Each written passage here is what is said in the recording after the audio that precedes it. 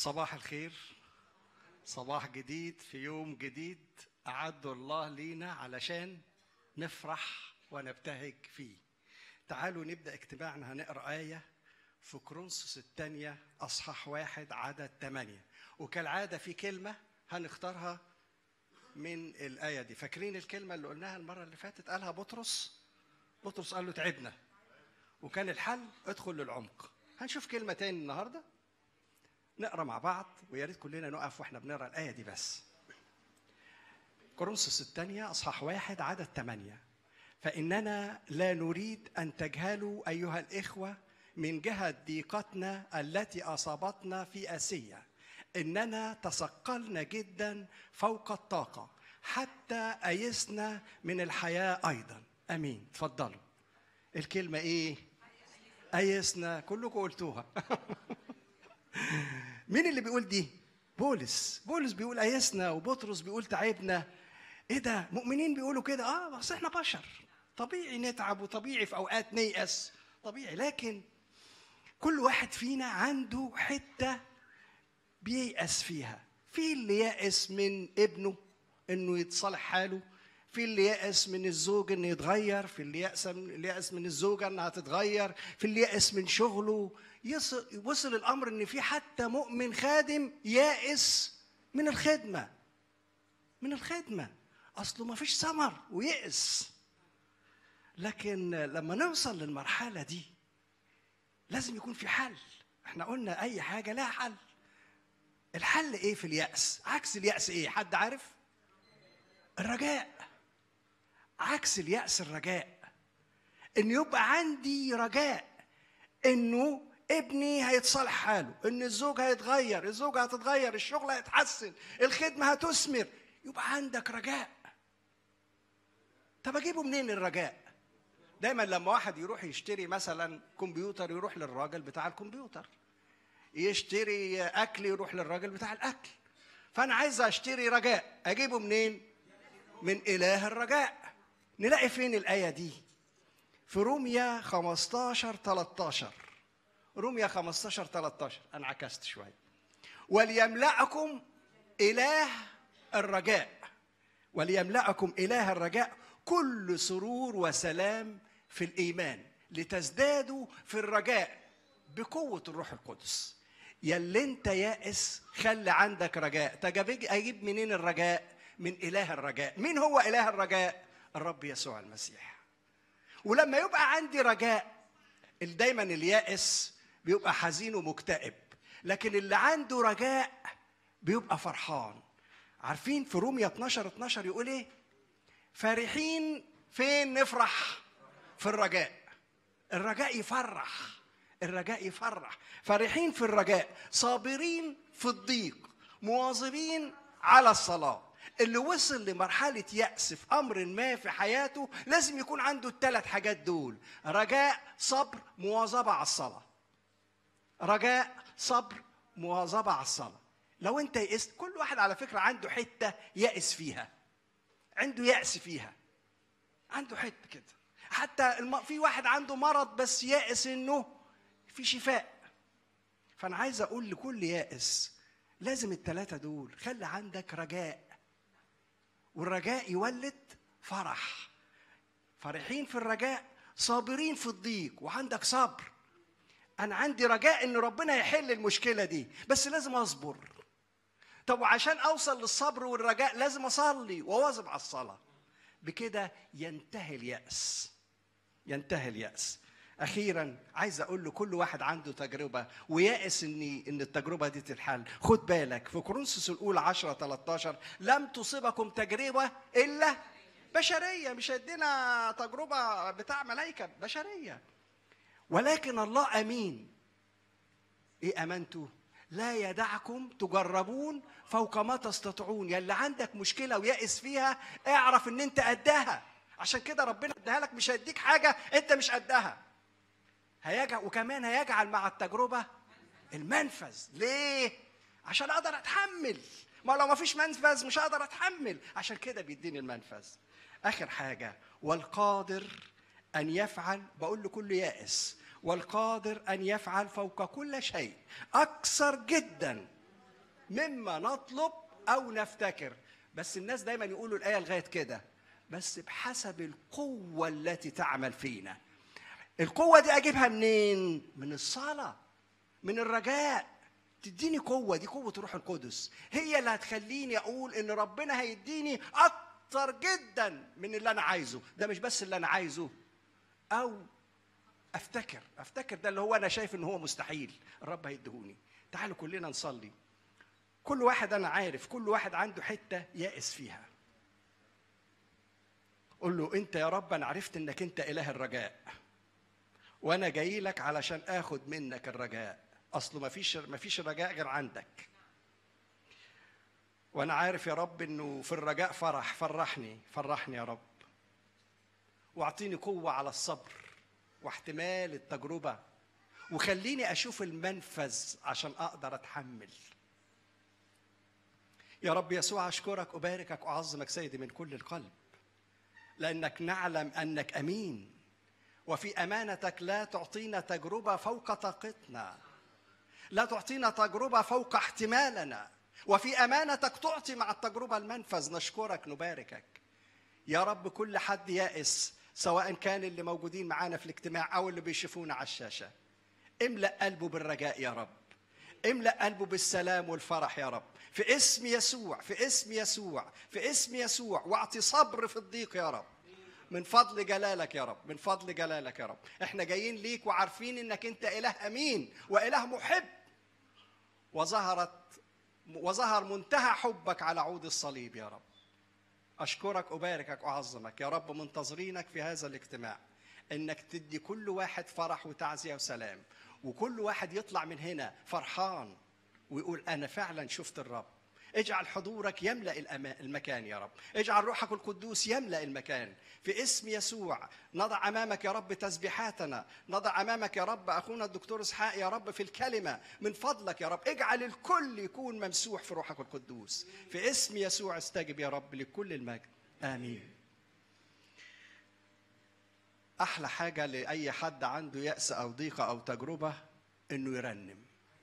صدقني. انسى كل حاجة واطلق لسان التسبيح.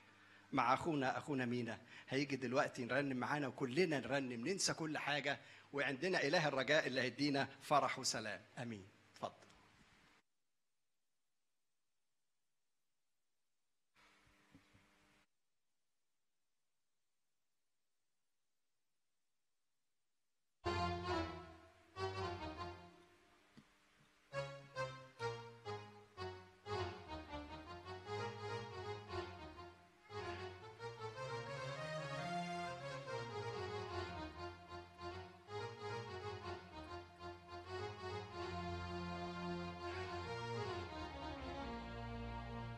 هللويا صباح الخير أحبائي. أشكر رب كتير من أجل فرصة جديدة منحها لينا الرب فرصة إن إحنا نتلذذ بالرب والرب يسكب علينا بفيض التعزيات في هذا الصباح. أنا دايما أقول كده أحبائي إن المجتمع حوالينا بره مفيهوش أي نوع من أنواع الفرح. يعني لو عايز تفرح هتعمل إيه بره مثلا؟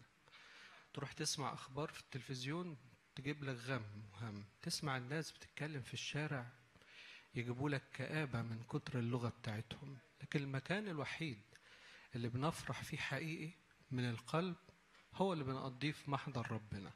أكيد ناس كتير اختبرت الكلام ده من حضراتكم. فجرب إن أنت تفرح وتلذذ بالرب يعمل إيه؟ يا حد حافظ انت لذذت بالرب يعطيك سؤل قلبك واكتشفنا إن سؤل قلبك ده مش هو الطلبات المادية. ده سؤل قلبك هو شوقك للرب نفسه. يعني تلذذ بالرب فيديك الرب تعزيات وإن أنت تتلذذ بشخصه الكريم. تعالوا نعبد الرب اللي موجود وسطينا لأنه مستحق كل عبادة وكل سجود. مستحق يا الله أن نعبدك. بصلاحك نغني بقيامتك نغني بأمانتك نغني فأنت حصن حياتنا وأنت الكل لنا. افتح فمك وسبح الرب من كل قلبك. قل له أنت مستحق.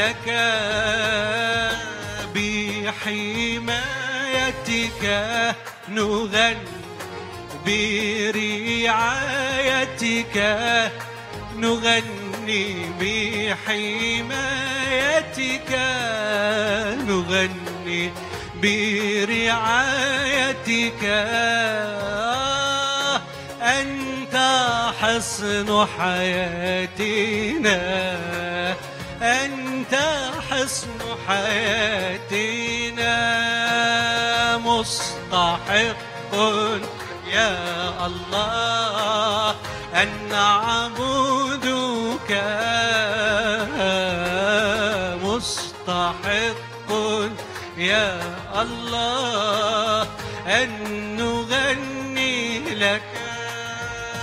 قول معايا. برحمتك نغني بمحبتك. نغني برحمتك. نغني بمحبتك.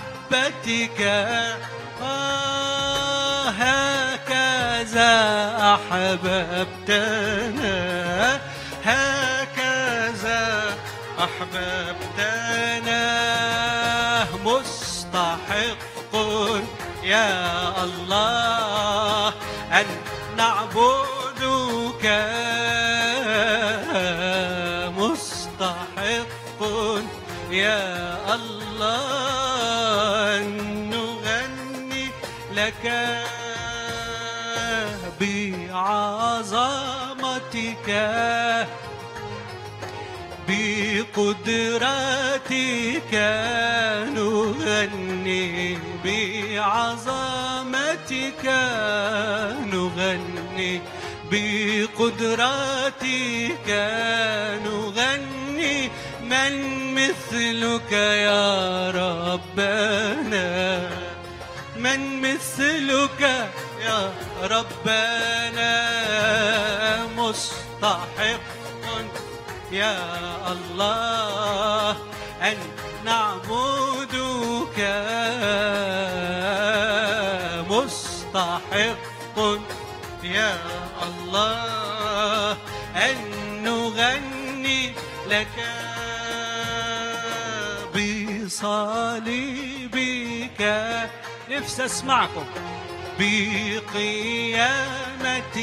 نعم صلب وقام بصليبك.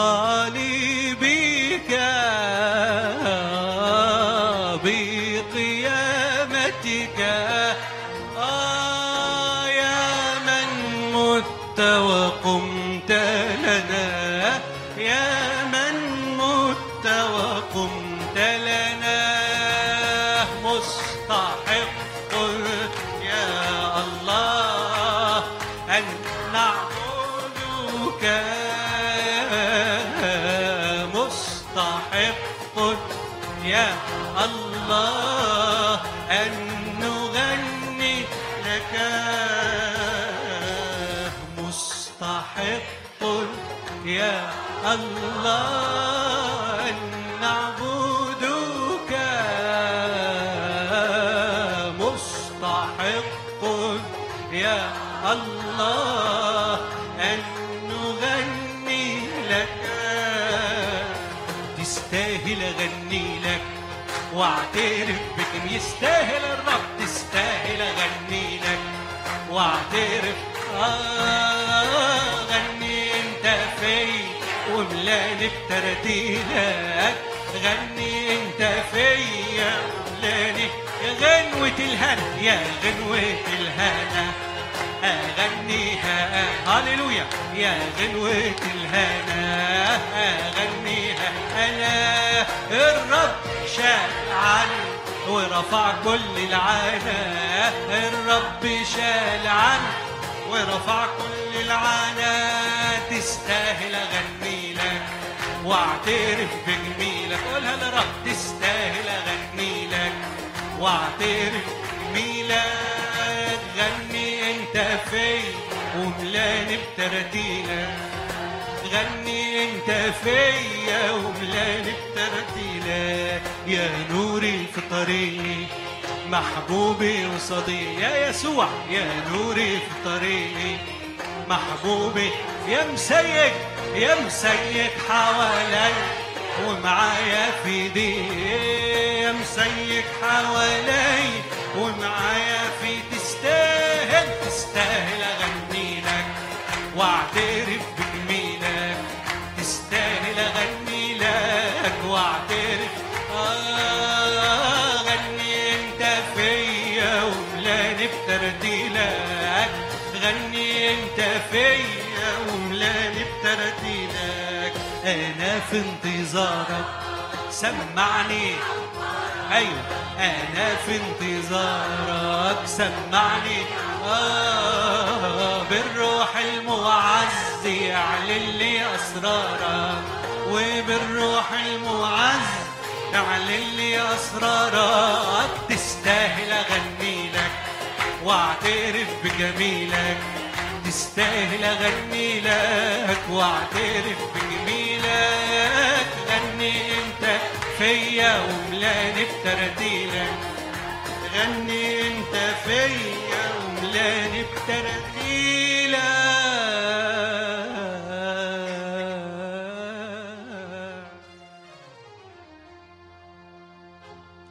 وبغني بين الناس أنا ليا إله عظيم غني معايا. وبغني بين الناس. أنا ليا. أنا أنا ليا إله عظيم. أنا ليا إله عظيم. وبغني بين الناس. أنا ليا. عمل إيه سامحني رغمي. عوجت المستقيم محاصك ذنوبي ماضي الأسيم سامحني. عوجت المستقيم محاصك ذنوبي ماضي الأسيم وبغني بين الناس أنا ليا إله عظيم. وبغني بين الناس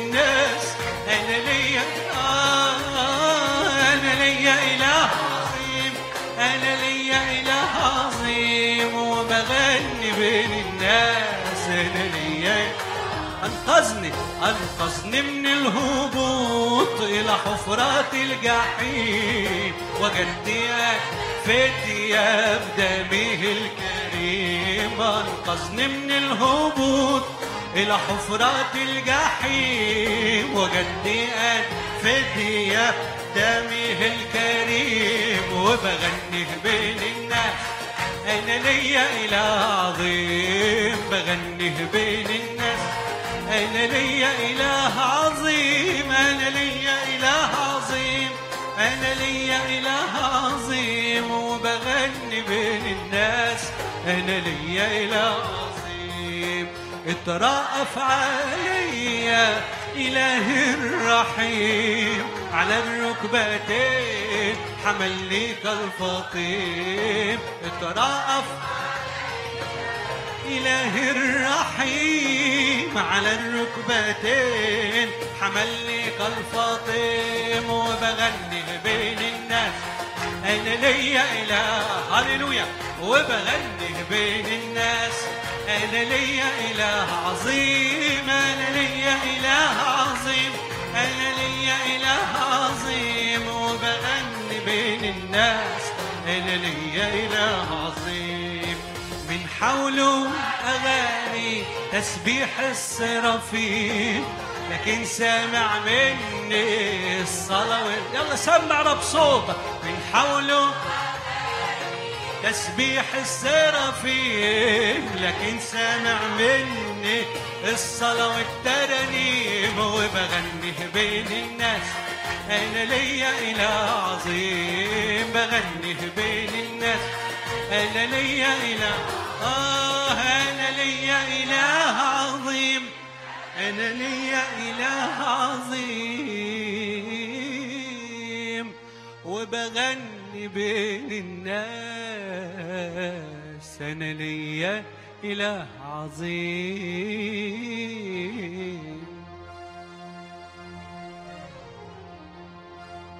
ونعمتك بتقبل والدليل صليبك كنت بعين لوحدي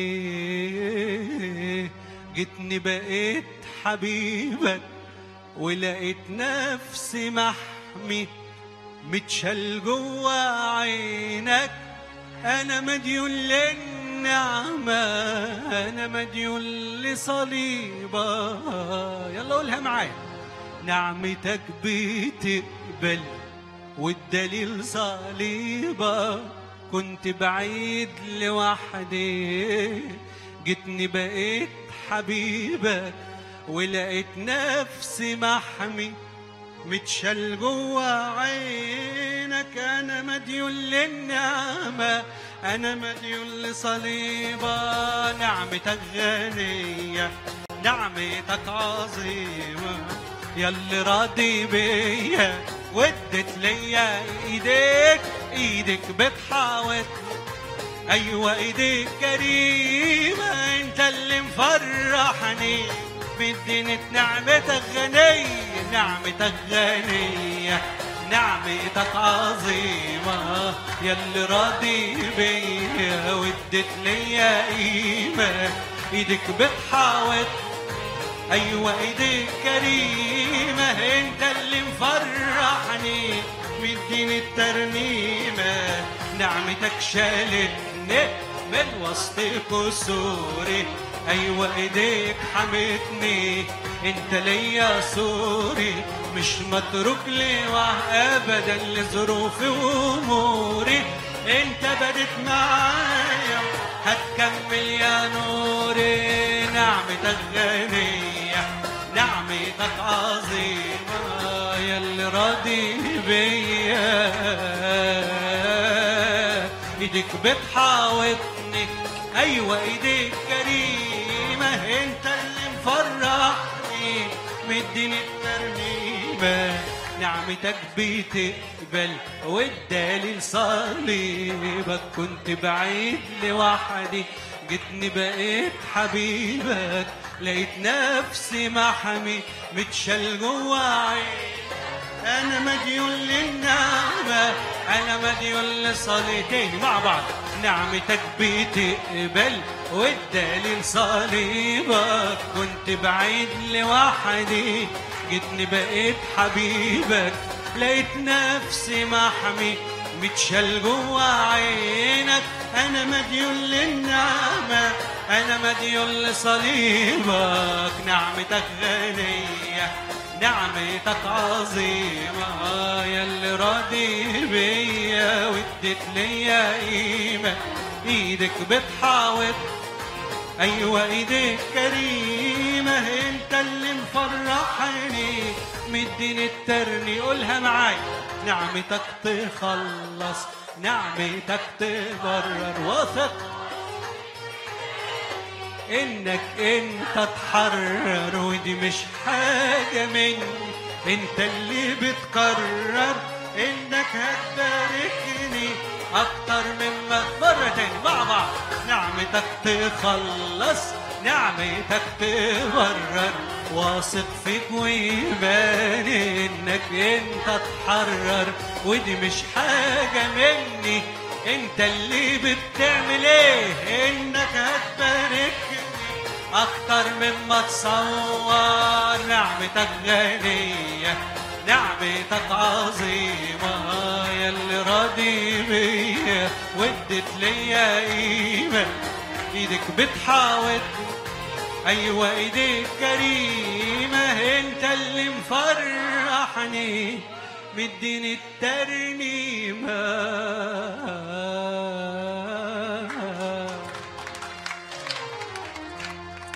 هللويا ليك كل المجد وكل الشكر والعظمة. هللويا شكرا أجل نعمتك الغنية يا رب العظيمة التي شملتنا وحملتنا. من مدة كده أحبائي ليست بقليلة كان عندي نهضة في أحد قرى المنيا. حد هنا من المنيا حبايب الرب شكرا للرب. فكنا في النهضة دي في شهر أغسطس شهر 8 والناس اللي هنا من المنيا أحب أسألكم آه، الجو في شهر أغسطس بيبقى أخباره إيه؟ حلو ولا حر؟ آه في المنيا بيبقى الدنيا ولعة حقيقي. فنزلنا النهضة ومش في مدينة في قرية من القرى الجوانية قوي بتاعة المنيا. وبعدين بعد ما خلصنا الاجتماع بتاع بالليل طلعنا الاستراحة وفوجئنا إن الاستراحة أقول الصدق في المسيح ما فيهاش ولا شباك. إلا شباك واحد بيطل على الصالون يعني مفيش أي هوا داخل للاستراحة. وما فيش مروحة سقف في في الاستراحة. وما فيش تكييف بالطبع دي قرية بسيطة. فقعدت أنا والخادم اللي معايا ندور كده في الاستراحة على أي حاجة تجيب لنا نسمة هوا مش قادرين ننام حقيقي يعني.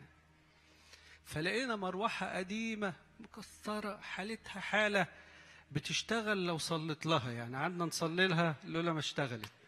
ونلحم في السلك من هنا ومن هنا شغلناها بالعافية. وبعدين يا دوب جابت لينا نسمة هوا وابتدينا ننعس. جه القسيس بتاع الكنيسة ربنا يباركه كان في زيارات. خلص الزيارات وجه ما عندوش مروحة في الأوضة بتاعته هينام جنبينا. راح خد المروحة بتاعتنا إحنا ونايمين. وبمجرد ما شعرنا بالحر ابتدينا نصحى تاني وعينينا ما شافت النوم لغاية الصبح. النهضة كانت مدتها أربع أيام أحبائي بس اللي كان بيصبرني أنا والخادم اللي معايا كنا نقول لبعضنا كده كلها أربع أيام ونعمل إيه؟ نرجع لبيوتنا. وبنفس هذا المثل أحبائي هو اللي بيحصل معانا في الأرض. كلها يومين قليلين هتقضيهم فيهم حر فيهم شمس محرقة بتاعت البرية فيهم صعاب فيهم تحديات. صبر نفسك إن أنت مسيرك في يوم هترجع لبيتك وترتاح في أحضان المسيح.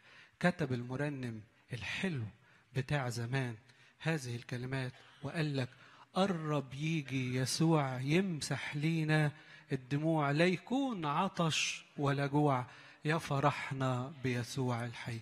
نترك هم الأشرار ونرنم على الكثار بجوار يسوع. البار يا فرحنا بيسوع الحي. افرح بالرب وقول له آمين تعالى. أيها الرب يسوع نحن في انتظار مجيئك الكريم العظيم.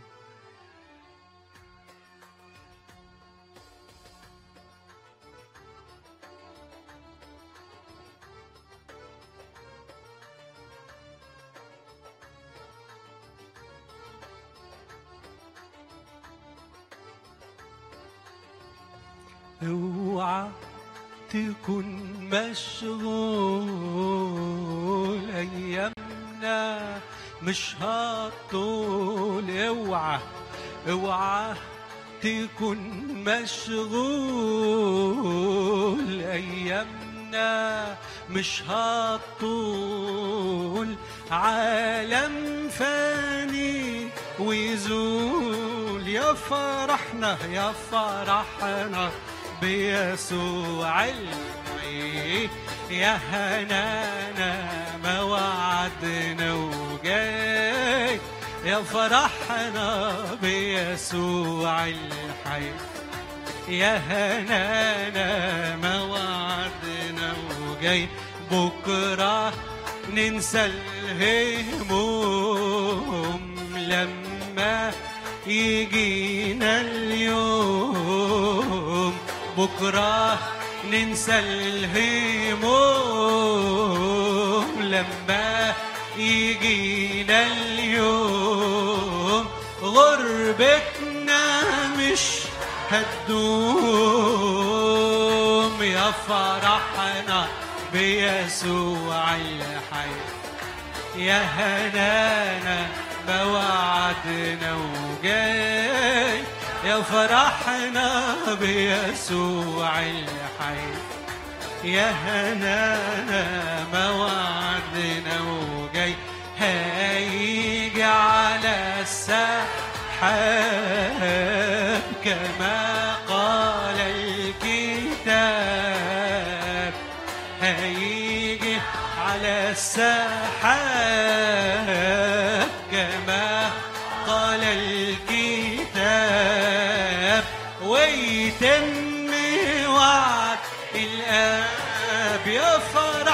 يا فرحنا بيسوع الحي. يا هنانا ما وعدنا وجاي. يا فرحنا بيسوع الحي. يا هنانا ما وعدنا وجاي. نترك هم الأشرار. عالكسار نترك هم الأشرار ونرنم عالكسار بجوار يسوع البار يا فرحنا بيسوع الحي. يا هنانا ما وعدنا وجاي يا فرحنا بيسوع الحي. يا هنانا ما وعدنا وجاي نحضر عرس الخروف ونرنم عالضيفوف نحضر عرس الخروف ونرنم عالضيفوف ده فرح مثله ما نشوف يا فرحنا يا فرحنا بيسوع يا هنانا ما وعدنا وجاي. يا فرحنا بيسوع الحي يا هنانا ما وعدنا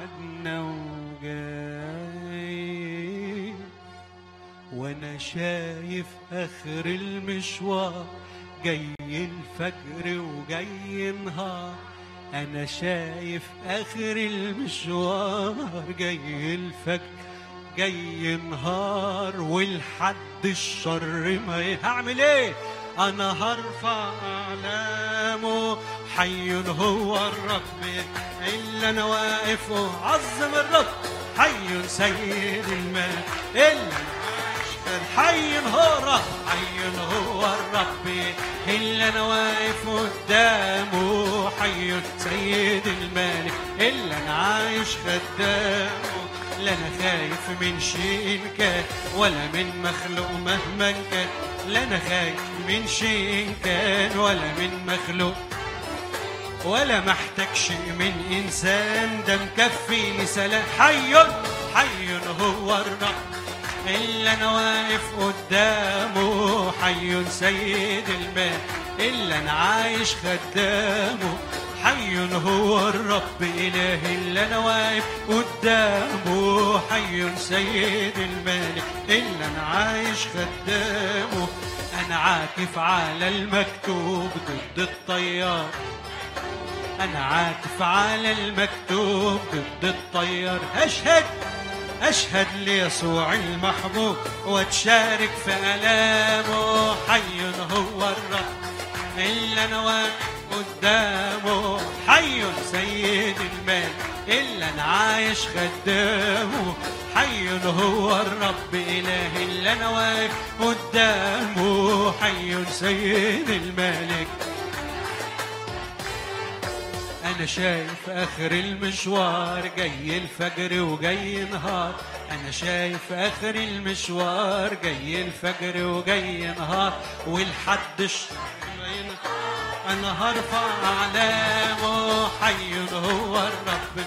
اللي أنا واقف قدام حي حي سيد المال.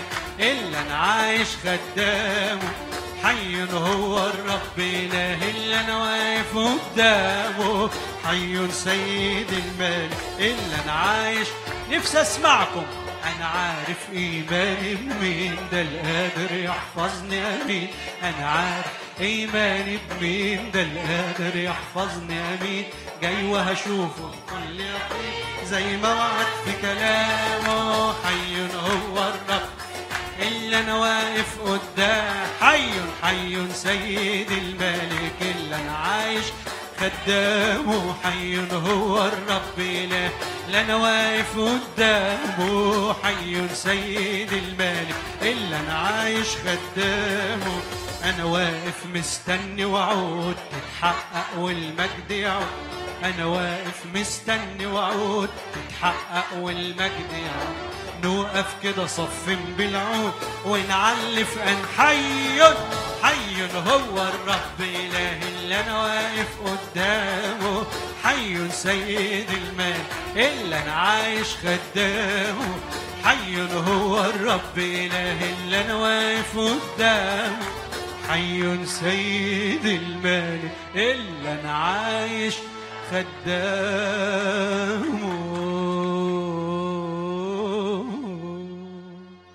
هللويا إلهنا إله حي إله عظيم إله مهوب. ليك كل المجد والكرامة يا رب أعظم اسمك آه، في مرة كده أحبائي نزلت خدمة في أحد ال- المدن بقى بتاعت الصعيد وبعدين آه، قالوا لنا حاجة غريبة قوي كده. خدونا استضافونا كده في في النهضة وبعدين بيقولوا لنا البيت ده- اللي أنتوا مستضيفينكم فيه عندنا حاجة اسمها الاكتفاء الذاتي. فأنا بسألهم بقول لهم إيه الاكتفاء الذاتي ده؟ يعني إيه؟ قالوا لي يعني إحنا هنا في البيت بتاعنا ده مش بنشتري أي حاجة خارج المنزل. فقلت لهم يعني إيه؟ مش بتاكلوا وبتشربوا؟ قالوا لأ إحنا عندنا غيط زارعينه في الصعيد بنزرعه قمح. وبنحصد المحصول بتاعه ناخد منه اللي يكفي احتياجاتنا والباقي بنعمل إيه؟ بنبيعه. وعندنا طيور مربينها فبناخد منها البيض واللحوم البيضة وبنذبح منها وبناكل. وعندنا مواشي مربينها بناخد منها ألبان وجبن وسمن بلدي وزبدة. طبعا أنتوا ما فطرتوش ونفسكم اتفتحت. وما بنشتريش أي حاجة خارج البيت خالص. طبعا الكلام ده كان زمان. دلوقتي بننزل الصعيد بيقولك بنشتري كل حاجتنا من بره. فالمرنم الحلو بتاع زمان شاف الناس اللي عنده غيط وعنده اكتفاء ذاتي وي وي راح كتب لهم ترنيمة قال لهم خلي بالكم مش الغيط ولا فدان الطين هو اللي هيفرح قلبك حبيبي. ولا ال- ال- الأغنام ولا البقر ولا الزيتون ولا الكروم ده أنت المفروض تقول مع حبقوك حتى لو انقطع الغنم ومفيش بقر ومفيش كروم. فإني أبتهج بالرب أفرح بإلهي. حد يحيي الرب يسوع المولود وسطينا هللويا.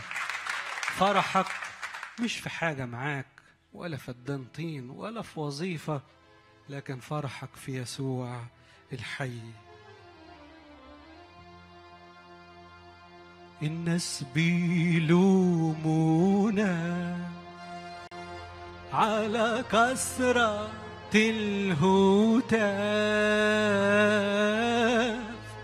غصب عنهم ما اختبروش ولا واحد منهم شاف ولا واحد منهم شاف والناس قالوا طيب ليه أنتم فرحانين؟ لو واحد فيكم متوظف ولا عنده فدنطي هللويا! ولا عنده فدنطي والناس قالوا طيب. وطي صوتك شوي قولوها بصوت واطي. يا ناس إحنا ما نقدرش نتعزى سكاتي. نتعزى سكا حد يحيي رب المجد مجد وسطينا هللويا. والناس قالوا كفايه ليلتين في كل أسبوع. يا ناس إحنا ما نقدرش نطيق فورق يسوع. نطيق فورق يسوع.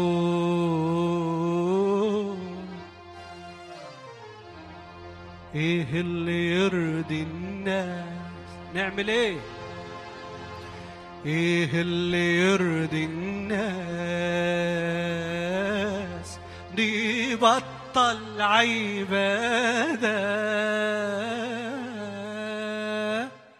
لكننا لا نطيعهم بل دايما في زيادة. بل دايما في زيادة كلينا فين العز ده كله؟ كلينا فين المجد ده كله؟ كلينا فين العز ده كله؟ كلينا فين المجد ده كله؟ وده من حنانه ويسأل عليا وده من حنانه يجي ويسأل عليا. فليتمجد اسم إله مستحق. فليتمجد اسم يسوع. فليتمجد اسم إلهي. فليتمجد اسم يسوع وده من حنانه لي عمل يجي ويسأل عليا وده من حنانه يجي ويسأل عليا أنا قدامك بوطي راسي أصل صليبك سبب خلاصي أنا قدامك بوطي راسي. أصل صليبك سبب خلاصي وده من حنانه ليا يجي ويسأل عليا. وده من حنانه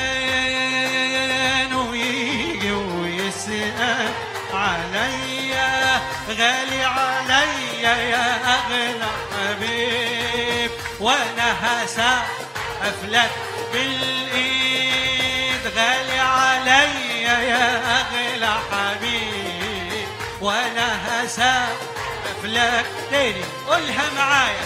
غالي عليا يا أغلى حبيب وأنا هسقف لك بالإيد. وده من حنانه ليا يجي ويسأل عليا. وده من حنانه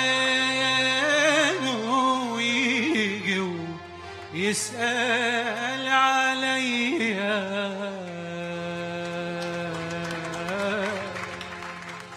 هللويا ليك كل المجد آمين. ربنا يبارككم.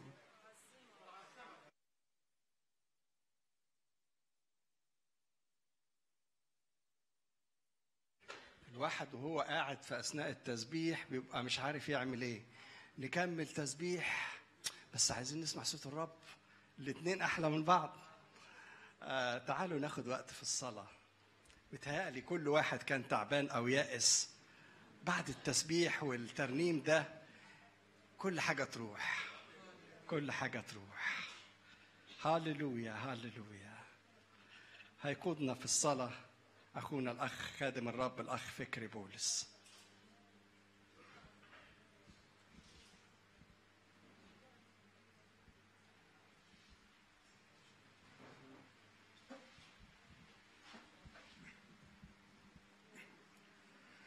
أبانا السماوي نتقدم إلى عرش النعمة بالروح والحق باسم ربنا يسوع المسيح الذي مضى إلى السماء الذي هو عن يمين الآب إذ قد مضى إلى السماء. وملائكة وقوات وسلاطين مخضعة له. نقدم لك الشكر نأتي إليك بتواضع مستندين على وعدك. إذا تواضع شعبي الذين دعي اسمي عليهم وصلوا وطلبوا وجهي ورجعوا عن طرقهم الردية فإني أسمع من السماء وأغفر خطيتهم وأبرئ أرضهم. نتقدم إليك سيدنا في ضوء هذا الوعد المبارك أيها سيدنا. نشكرك يا رب من أجل حب غالي لأنه ليس لأحد حب أعظم من هذا. أن يضع أحد نفسه من أجل أحبائه الذي أحبنا وغسلنا من خطايانا بدمه وجعلنا ملوكا وكهنة لله أبيه نشكرك أيها الرب سيدنا من أجل فرصة التسبيح التي قادتنا إلى السماء والتي لمعت أمامنا. الرجاء المبارك منتظرين الرجاء المبارك وظهور مجد الله العظيم. نشكرك أيها الرب سيدنا نعلن في هذا اليوم أيها الرب سيدنا نعلن مجدك نعلن جلالك نعلن جمالك نعلن أذهان مفتوحة نعلن عيون مستنيرة نعلن ملء الروح القدس لشعبك أيها الرب سيدنا. تعال أيها الرب إلهنا بروحك القدوس املأ المكان من مجدك واملأ الكيان أيها الرب سيدنا. من روح القدس الذين ينقادون بروح الله أولئك هم أولاد الله. يجعل يا رب روحك القدس يرشدنا روحك القدس يعلمنا روحك القدس يخبرنا بكل ما قلته لنا. يا رب نشكرك في هذه الفرصة الرائعة أيها الرب سيدنا. نشكرك من أجل ابنك الذي رنم فينا. بارك حياته وبارك شبابه أيها الرب سيدنا. نصلي من أجل الكلمة الحية الفعالة نرجو منك أيها الرب سيدنا أن تبارك ابنك الذي يكلمنا الآنية التي اخترتها وقدستها أيها الرب إلهنا. بارك أفكاره أيها الرب سيدنا. بارك كل تأمل أيها الرب إلهنا.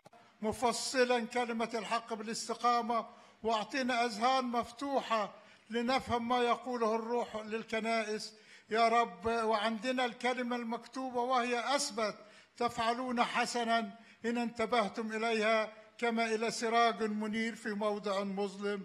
يا رب نرفع قلوبنا ونرفع أيدينا ونصلي من أجل أيها الرب سيدنا قناة الكرمة القناة التي تذيع اسمك في كل العالم أيها الرب إلى سيدنا. لتكن بوق لتكن منارة أيها الرب إلهنا لتكن أداة لرجوع البعيدين المعينين للحياة الأبدية. بارك كل المسؤولين فيها. بركة لهذه الجمعية أيها الرب إلهنا في كل أنشطتها وفي كل اجتماعاتها أيها الرب سيدنا. بركة لشعبك أيها الرب إلهنا لكل أسرة ممثلة فينا أيها الرب يسوع. بركة لكنائسنا وجمعياتنا في هذه البلد وفي كل مكان. بركة لبلادنا أيها الرب سيدنا واقتصادها وحدودها وسياستها. نضع الكل بين يديك كما لخالق أمين في عمل الخير. نسأل هذا في اسم ربنا يسوع والقادر أن يفعل فوق كل شيء أيها الرب يسوع. أكثر مما نطلب أو نفتكر بحسب القوة التي تعمل فينا له المجد في الكنيسة إلى جميع أجيال الدهور. آمين.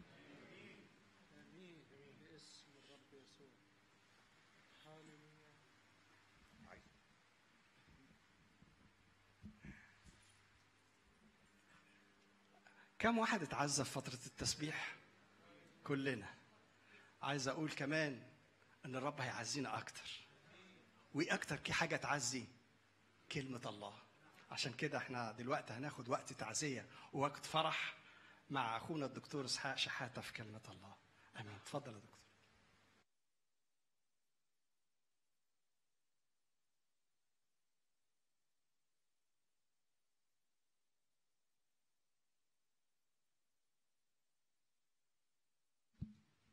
هنقرأ مع بعض أعداد من إنجيل متى أصحاح تسعة وعدد تسعة.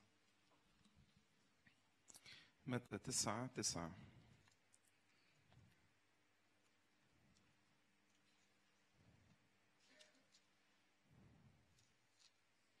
وفيما يسوع مجتاز من هناك رأى إنسانا جالسا عند مكان الجباية اسمه متى. فقال له اتبعني فقام وتبعه. وبينما هو متكئ في البيت إذ عشرون وخطاة كثيرون قد جاءوا واتكأوا مع يسوع وتلاميذه. فلما نظر الفريسيون قالوا لتلاميذه لماذا يأكل معلمكم مع العشارين والخطاة؟ فلما سمع يسوع قال لهم لا يحتاج الأصحاء إلى طبيب بل المرضى. فاذهبوا وتعلموا ما هو. إني أريد رحمة لا ذبيحة. لأني لم آتي لأدعو أبرارا بل خطاطا إلى التوبة. آمين.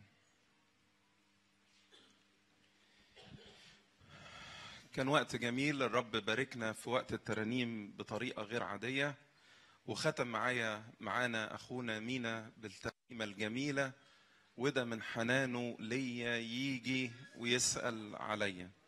ولهذا السبب سأتكلم معكم عن عنوان الرب يسوع الذي يحب المنبوذين.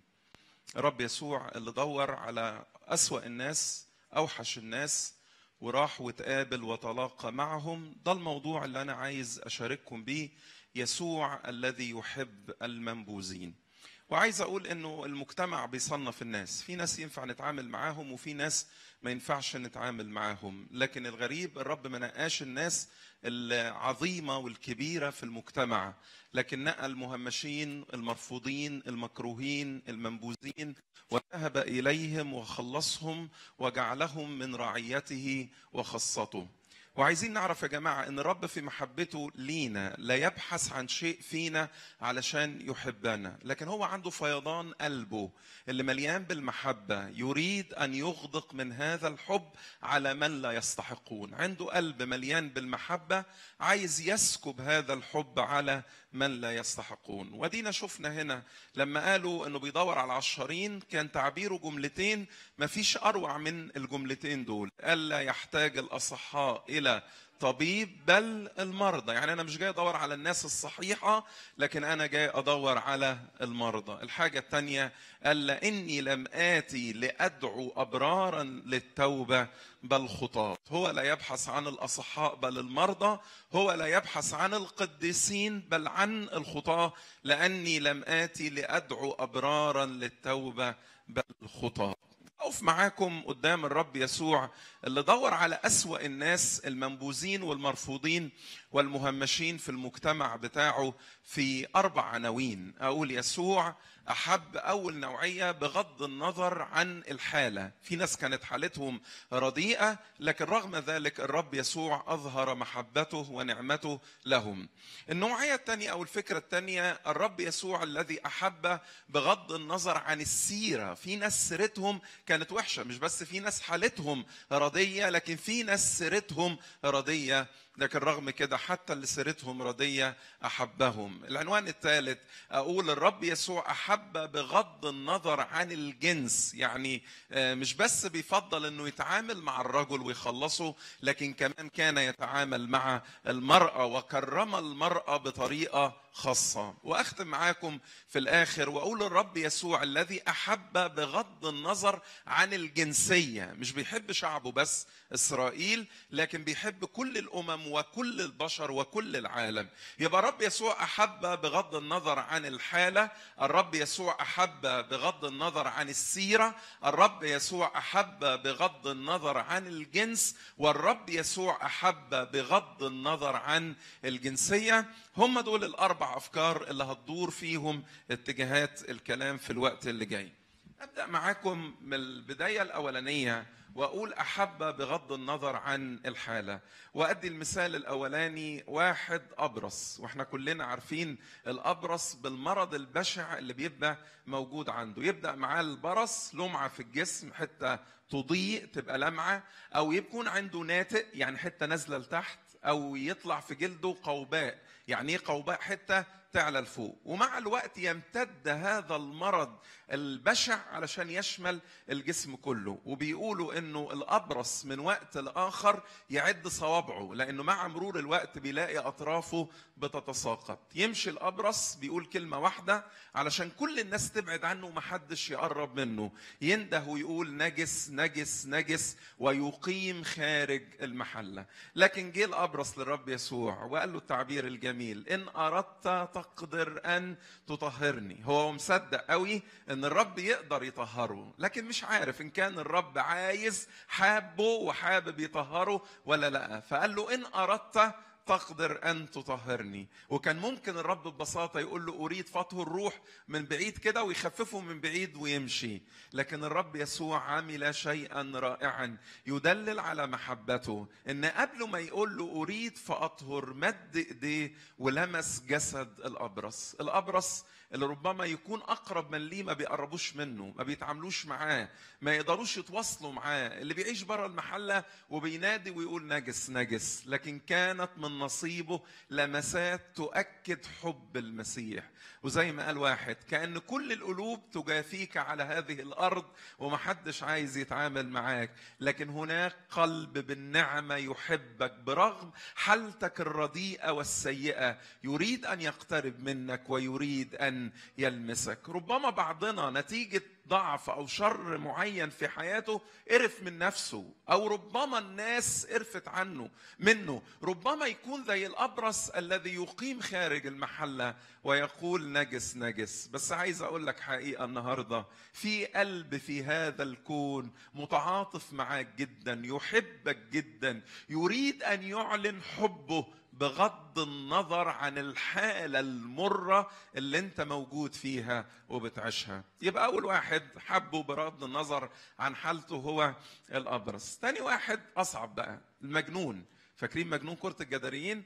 وهقول لكم على أغرب خبر. الرب ركب المركب وعدى للجانب الآخر عشان يروح كرة الجداريين. ليه يا رب رايح كرة الجداريين؟ هتعمل تقدم كام وعظة وتعمل كام معجزة؟ هو رايح بس علشان واحد مجنون يتقابل معه ويخلصه إيه رأيك لما بتشوف واحد مجنون في الشارع؟ إيه كم التواصل معاه؟ إيه كم التعامل معاه؟ لا مفيش غير الإهمال والترك والتطنيش.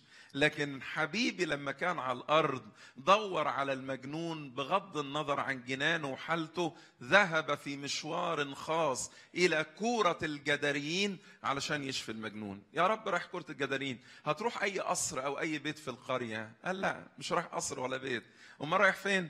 رايح المقابر. ليه رايح المقابر يا رب؟ قال أصل في واحد يقطن ويسكن هذه المقابر. شكله إيه الراجل ده؟ يعني حالته حال كان يصيح أول حاجة. وبعدين يجرح نفسه بالحجارة. طب ومش بس كده وبيجرح مين كمان؟ بيجرح الآخرين. وكان لا يلبس ثوب. يعني شكله إيه كمان؟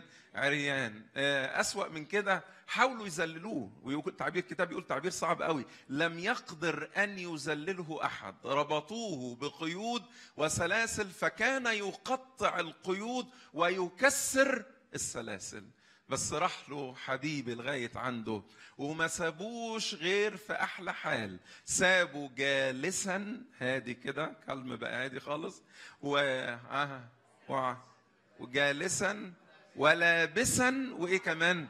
وعاقلا. عارفين جالسا دي بتفرق معايا قوي من سنين طويلة كنت شغال في مكان في منطقة اسمها بشتيل وبعدين آه، أب جاب لي ابنه وما قاليش إن ابنه مجنون. يعني قال لي هسيبه لك بس 10 دقايق أجيب حاجة من السوق اتلافى حاجة من السوق وأرجع لك. أنتوا عارفين غاب الراجل في حدود تلت ساعة. أنا طلع عيني. الواد يطلع على الريون أنزله من على الريون يركب على الكرسي أجيبه من الكرسي يجري على المعمل. أجيبه من المعمل هو يعمل له أولى إعدادي مثلا 12 سنة ولا حاجة. خد معايا تلت ساعة طلع عيني. قلت عشان تقعد واحد مجنون ده أمر ماله؟ أمر مستحيل. لكن الرب سابه جالسا. والحاجة الثانية بعد ما كان عريان أعتقد جه منين التوب يا جماعة؟ جه منين التوب في المقابر؟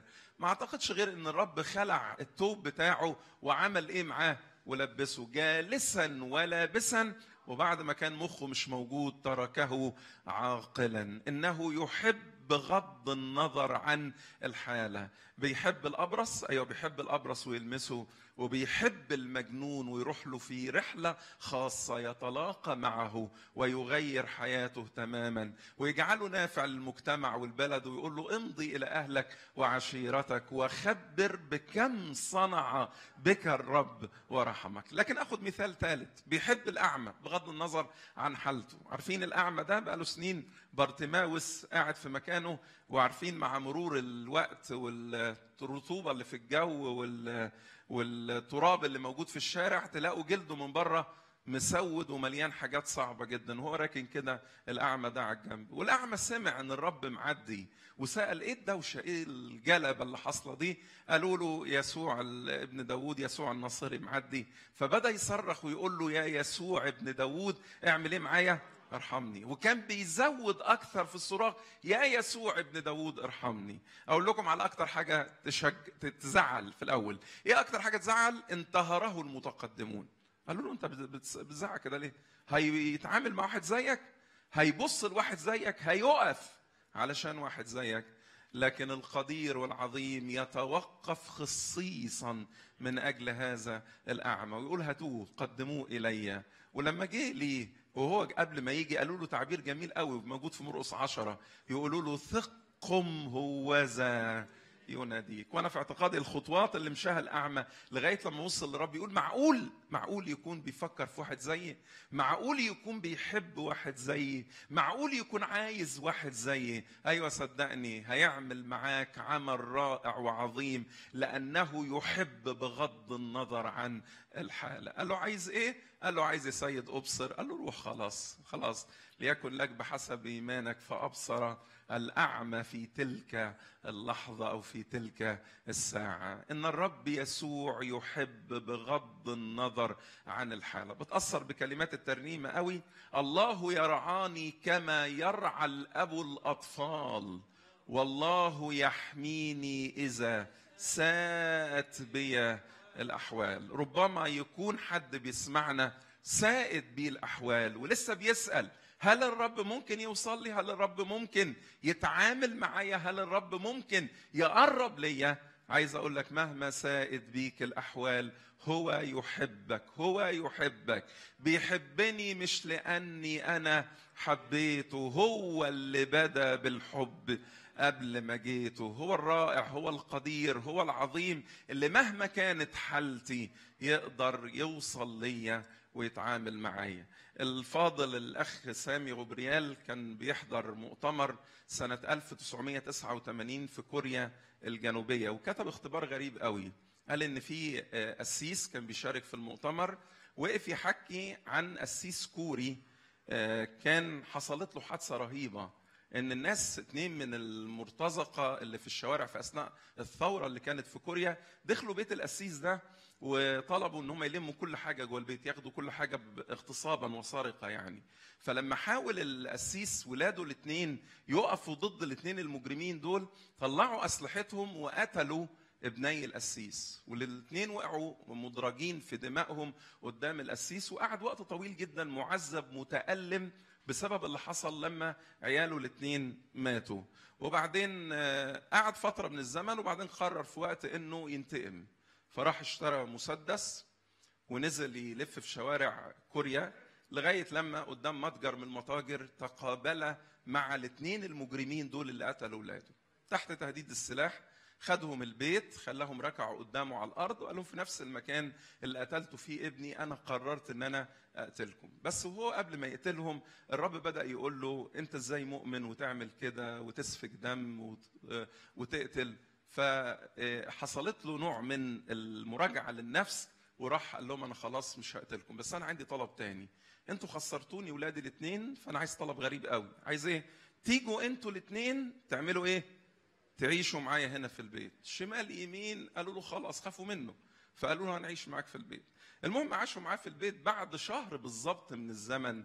تعاملوا معاه ومع مراته. الاثنين اتعرفوا على الرب. وبقوا الاثنين بيصلوا معاه يروحوا يصلوا معاه في الكنيسة. وبعد وقت من الزمن الاثنين جات لهم دعوة للخدمة فبقوا بيخدموا الرب. المفاجأة الغريبة إن اللي كان واقف يحكي الاختبار ده اللي هو القسيس اللي بيحكي الاختبار عن القسيس بتاع كوريا قال أنا عايز أقول لكم على حاجة رهيبة جدا. أنا أقرب واحد يعرف هذه القصة لأني أنا واحد من الاثنين اللي قتل ولاد القسيس لي الفخر النهارده ان أنا أقف قدام 6000 واحد في هذا المكان لأشهد عن نعمة الله. حالتي كانت ردية أموري كانت صعبة كنت شرير وسافك دماء لكن يقدر الرب يسوع يوصل لي بنعمته ويتعامل معايا. مش بس يخلص يخلصني لكن يخصصني لخدمته وعمله. الرب يسوع يحب بغض النظر عن الحالة. أدخل على الفكرة الثانية الرب بيحب بغض النظر عن السيرة. إحنا معانا كبشر يقول لك ما ما تعملش مع فلان أو ما تتعاملش مع فلانة. ليه؟ ها؟ السيرة القصة بتاعتها. وعندنا فكرة دايما بحب أقولها. يقول لك إيه أخبار فلان أو إيه أخبار فلانة؟ يقول لك هو كويس بس. وأول ما يقول بس يبدأ البث المباشر. ها؟ فيحكي لك على المشاكل أو السيرة أو الفضايح بتاعت فلان أو فلانة. لكن عايز أقول لكم أغرب ما نعرف ونرى إن الرب راح لناس سيرتهم رديئة جدا وقدر يتعامل معاهم ويخلصهم. يعني واحد من اللي سيرتهم رديئة متى؟ كان شغال إيه ده؟ اللي إحنا قرينا عنه كان عشار. يعني إيه عشار؟ يعني بيعتبروه أهل البلد خاين. يتعامل مع الحكومة الرومانية ويظلم أهله وناسه وشعبه. لكن الجميل إنه الرب راح له على مكان الجباية وقال له كلمتين بس اتبعني أنت. فترك متى كل شيء وترك مكان الجباية وعمل إيه يا جماعة؟ وتبع الرب يسوع. مش ناسي ابدا القصة اللي دايما بحب أكررها وحد يزهق لما أقولها كتير. الراجل اللي كان شغال معايا في الصيدلية ورحت أستلم منه الوردية. كنت دايما أكلمه عن الرب. لقيته فاتح لي متى تسعة. وقال لي اشرح لي متى تسعة ده أنا مش فاهم. على قصة متى. قلت له إيه اللي مش فاهمه؟ الرب يسوع عدى على متى؟ متى قاعد على مكان الجباية؟ قال له اتبعني أنت. متى ساب كل حاجة ومشى ورا الرب. قال لي برضه مش فاهم. قلت له إيه اللي مش فاهمه؟ قال لي هقرب لك. واحد شغله حياته غرضه رجاؤه كل حاجة القعدة اللي هو قاعدها دي شوية الفلوس اللي هو ده اللي عايش علشانه هي دي الحياة في عينيه في عينين متى؟ يعدي عليه واحد ما يعرفوش وحط بين قوسين كلمة ما يعرفوش دي ويقول له اتبعني أنت. يقوم متى؟ سايب كل حاجة ويتبعه. قلت له برضه مش واصلة. قال لي طب هوصلها. شايف الراجل اللي بيبيع جوافة قدام الصيدلية كانت في السوق؟ شايف الراجل اللي بيبيع جوافة على العربية قدام الصيدلية؟ قلت له آه. قال لي اطلع قول له تعالى ورايا بس ما تكررهاش لأنه مش هيجي وراك. وأخاف تكررها يتضايق منك ولا يتنرفز ويعمل أي حاجة. قول له بس تعالى ورايا. وقال لي اتحداك لو ساب شوية الجوافة ودول ما بيتعامل مع شوية جوافة ويعمل إيه؟ ويمشي وراك. قلت له بس أنا فاهم أنا فهمت. أنتوا عارفين إيه الفكرة؟ قلت له عارف ليه متى ساب كل حاجة ومشي ولا الرب هناك جاذبية لا تقاوم في الرب يسوع خلته يترك كل شيء ويذهب وراء الرب. بتفرج على المؤمنين اللي بيكرموا المسيح. قد إيه محبتهم للمسيح. قد إيه عطائهم للمسيح. قد إيه تضحيتهم من أجل المسيح. وبقول السبب الرئيسي إن انجذبوا انجذبوا بحب ذاك الذي حبه فائق وعظيم وصاروا يتبعونه. ترك متى مكان الجباية وتبع الرب يسوع. بس متى راح عمل حاجة جميلة قوي؟ عارفين عمل إيه؟ راح عمل وليمة. ودعا مين؟ هو مين الأصناف اللي يعرف يدعيها؟ زي ما قرينا هنا. ما يعرفش هو راجل ضايع فدعا اللي زيه واللي ضايعين زيه فدعا العشارين وال... واللي بيجمعوا معاه في الشغلانة لنفس القصة. والعشارين أكيد راحوا. قالوا معقول متى اللي بيحب الفلوس ساب الفلوس؟ وتبع المال. مين ده؟ مين اللي خلى متى قلبه يتخلع من المال وكل حاجة ويتبعه؟ تعالوا نشوفوا هو مين.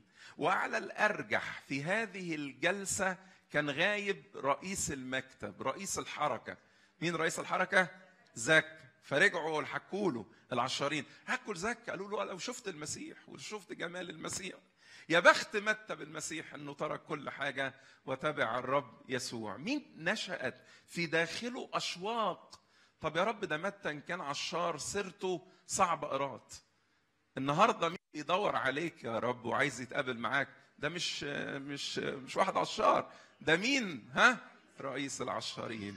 ويجي التعبير الجميل وطلب أن يرى يسوع. وقصير زكى ومش عارف يشوف راح طلع فوق الجميزة. ومتخيل إن هو اللي بيدور على الرب عارفين طلع مين اللي بيدور عليه قبل ما يدور عليه؟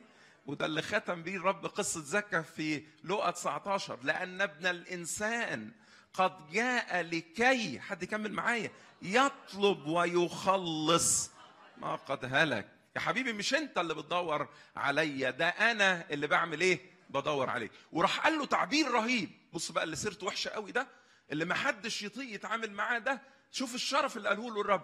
قال له انزل لأنه ينبغي أن أمكث اليوم في بيتك. خدوا بالكم هقول لكم معلومة بمليون جنيه. صدقوني المعلومة دي يعني ثمنها غالي قوي. إيه المعلومة دي؟ الرب يسوع ادعى في بيوت كثيرة ولبى الدعوة وراح وقبل العزومة. اسمعوني بقى البيت الوحيد البيت الوحيد اللي عزم نفسه فيه هو بيت زكا طب ليه ما استناش لما زكا يعزمه؟ أصل زكا عمره ما يخطر على باله إن هو ممكن يعملها. أنا بسيرتي المرة دي. مين يقرب مني؟ مين يوصل ليا؟ مين يتعامل معايا؟ الحقيقة ما فيش حد. قالوا لا يا حبيبي اسمع بقى اسمع على النعمة وعمل النعمة. هيتقال عنك عنوان جميل يا زكا إنه دخل ليبيت عند رجل خاطئ. يوم زكا تاني يوم الصبح أعتقد يقول له كده للرب ها أنا أعطي نصف أموالي للمساكين وإن كنت وشيت بأحد أرد أربعة أضعاف. وتغير زكا لأن في واحد بيدور على اللي سيرتهم رديئه حبيبي أخويا اللي بتسمعني أختي اللي بتسمعيني حتى لو الملف بتاع السيرة تلوث يقدر يغسله بيحب حتى اللي سيرتهم رديئه حب متى وحب زكا خدوا كمان واحد. حب مين؟ أيوه أيوه ما من من غير كلام كتير. السامرية السامرية اللي رايحة عند البير في وقت مر صعب. علشان ما تتقابلش مع حد من الناس. وغالبا ما حدش عايز يقابلها. إلا واحد بس اللي رايح لها مخصوص رايح لها في عز الحر إذ تعب يسوع بتأثر باللي قبليها كمان. كان لابد له أن يجتاز السمر لابد مش جغرافيا لا. لكن أدبيا وروحيا لأن عايز يتقابل مع مين يا جماعة؟ مع اللي محدش طايق يتعامل معاها دي. مع اللي سيرتها صعبة. مع اللي محدش عايز يقرب منها ولا يشوفها. كان لابد له أن يجتاز السامرة. وإذ تعب يسوع من السفر جلس هكذا على البير. بتتعب عشان مين يا رب؟ بتتعب عشان مين؟ بتضرب المشوار المرهق ده علشان مين؟ علشان السامرية. وفاكرين بدأ معاها أعطيني لأشرب. مع إنه صدقني مش هو اللي محتاج يشرب. أنتوا القصة طلعت إن هي اللي محتاجة تشرب. واحد من الكتاب الأجانب قال تعبير متعز بيه قوي.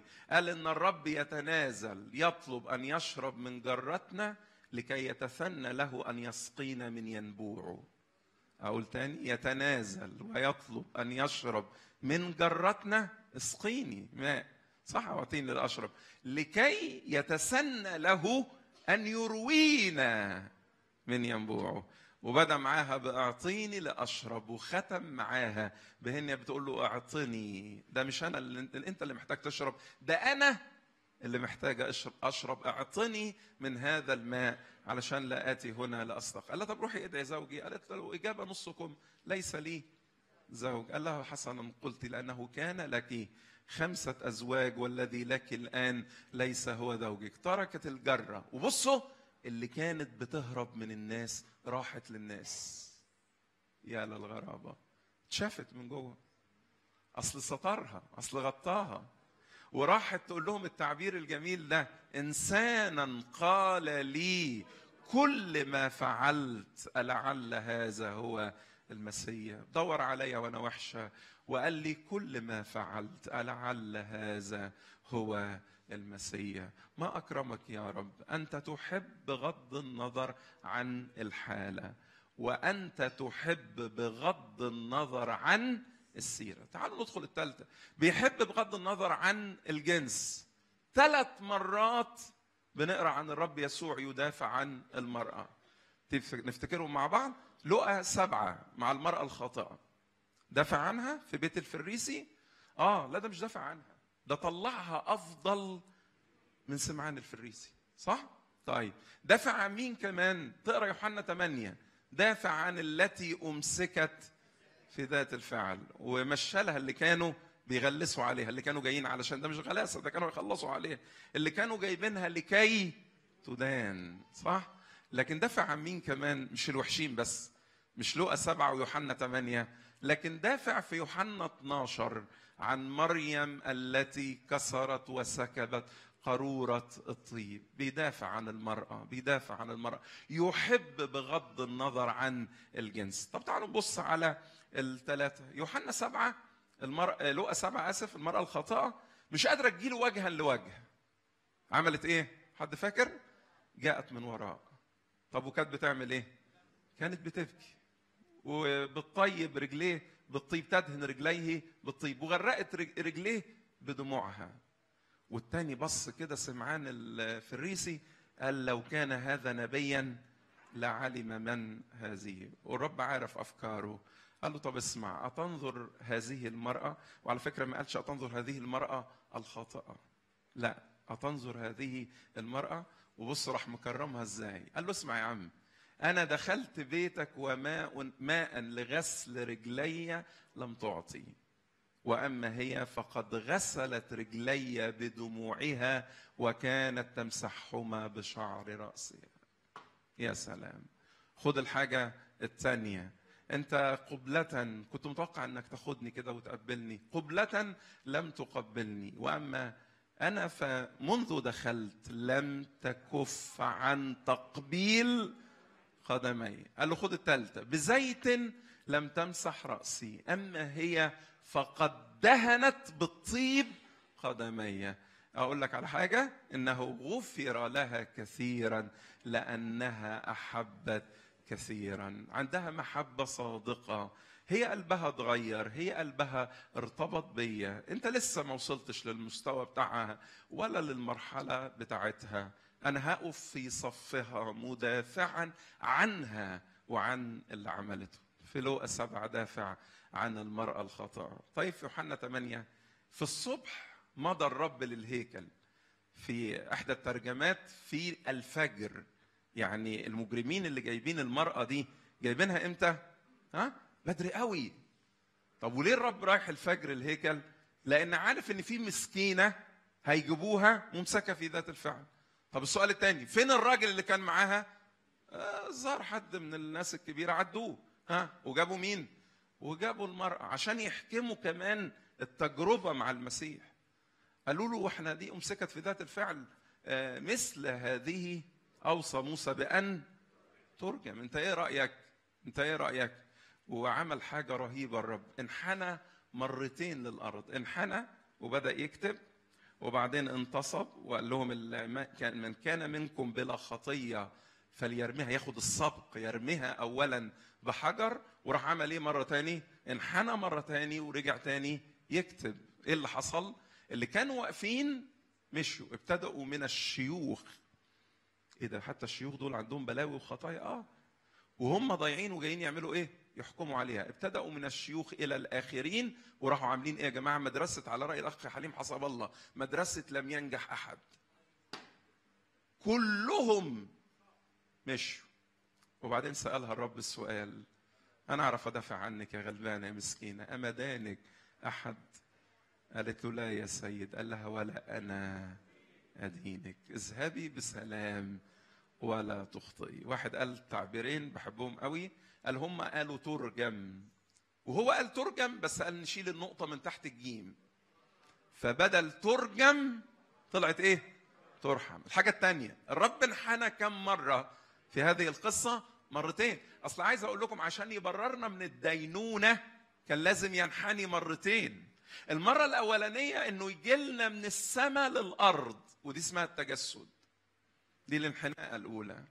والحناءة الثانية إنه يوصل لتراب الأرض ودي اسمها الصليب والقبر.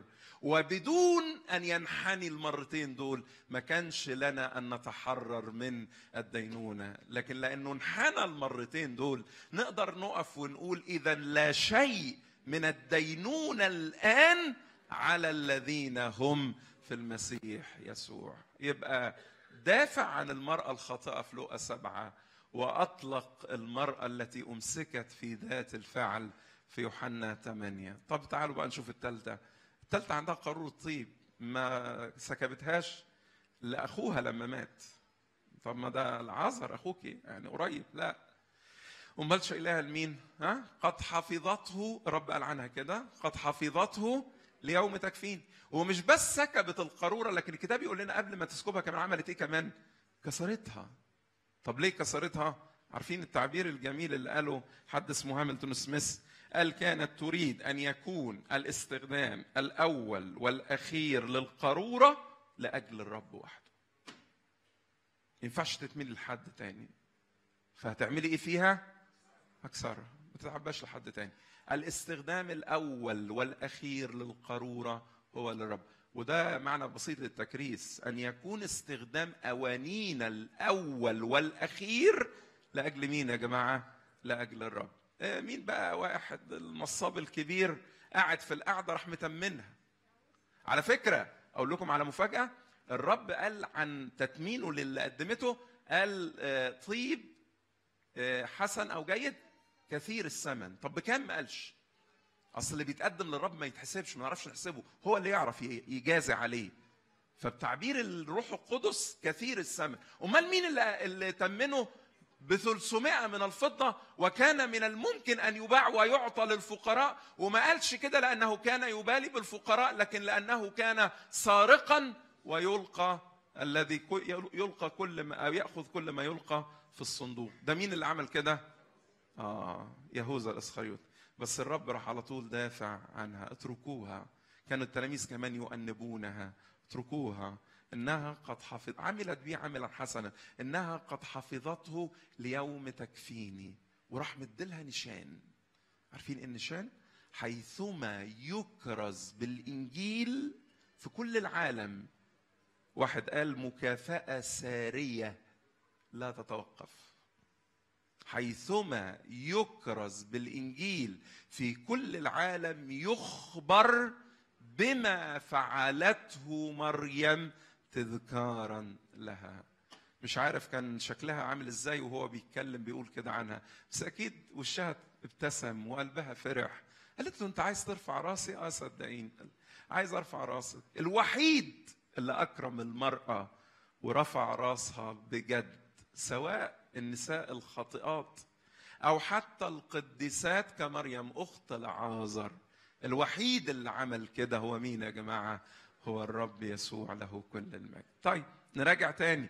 يبقى بيحب بغض النظر عن ها الحالة. أيوه كويس حفظته. ها بيحب بغض النظر عن السيرة. ها بيحب بغض النظر عن الجنس. تعالوا الأخير. بيحب بغض النظر عن الجنسية. بيحب شعبه بس.